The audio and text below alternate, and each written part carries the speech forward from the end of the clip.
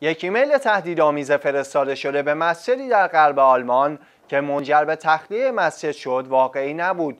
اما به همان اندازه سبب نگرانی در میان جامعه اسلامی شد.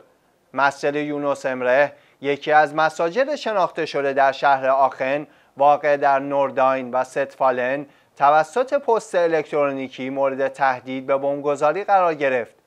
در پاسخ به این حادثه پلیس مسجد را تخلیه کرده و با سگهای شناسایی بمب محل به طور کامل مورد تفتیش قرار گرفت.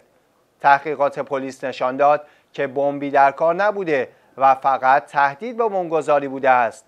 در ماهای اخیر دهها مسجد در سراسر آلمان تهدیدهایی دریافت کرده و نگرانی های زیادی در این رابطه جامعه اسلامی را در بر گرفته است.